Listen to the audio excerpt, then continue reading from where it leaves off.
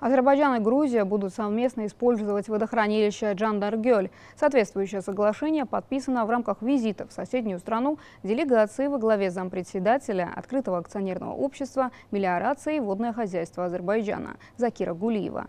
Поездка состоялась по приглашению общества с ограниченной ответственностью «Мелиорация Грузии». В ходе встречи обсуждены вопросы совместного использования водохранилища в текущем году.